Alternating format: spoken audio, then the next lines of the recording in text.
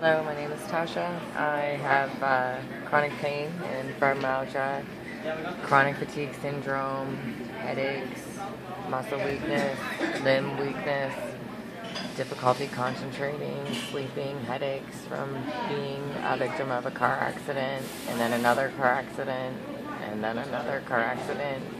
I am trying my best to recover and go about my life, and I've been struggling with all the avenues that I have examined, so I decided to call Farah from FeroFaceFit.com to assist with the problems that I am having because I remember meeting her and discussing her organic mixes and the assistance she has helped many people with who have very similar conditions to myself.